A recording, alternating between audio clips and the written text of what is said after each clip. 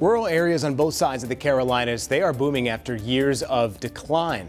That's thanks to a remote work and affordable living at this point, but the increase in growth could pose a challenge for communities that are not ready for it. WCNC Charlotte's Tradisha Woodard shows us how some areas are working to expand amid the growth.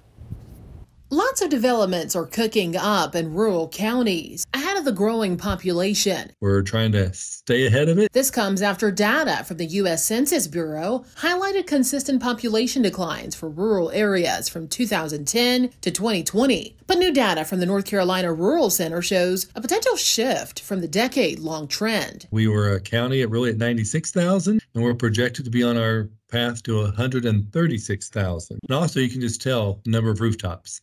People can see the buildings, the housings, the apartments that are going up. In Lancaster, they say they've already approved more than 5,000 housing units over the next three to seven years to accommodate the growth. They say they're also working to improve other things like infrastructure and amenities. We just did a new strategic plan that's looking three to five years. Infrastructure is a key part of that. Public safety is a key part of our um, strategic plan. Over in Rowan County, they're also working ahead of the growth. They say right now they're tracking residential developments to make room for the crowds. So, whether it's apartment complexes, mixed use, or um, housing subdivisions, we are starting to track that because we need to know what's happening, where it's going. So, when people reach out to us and they're looking for new developments like that, we know where to send them. They say they're also prioritizing expanding employment opportunities and have landed two massive projects that will bring thousands of jobs to the area another effort to encourage growth and enhance the quality of life. We are excited to welcome them to our community. Tradisha Woodard,